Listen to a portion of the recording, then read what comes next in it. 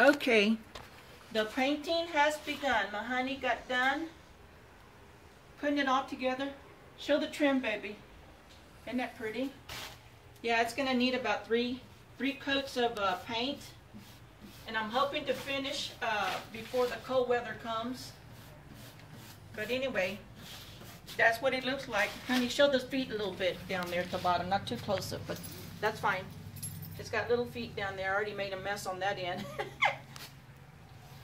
but yeah, my honey did a wonderful job. Thank you, baby. I You're love you. I can't wait till it's done. Okay, just a little update on the shelf, guys. We'll talk to you later. Bye-bye.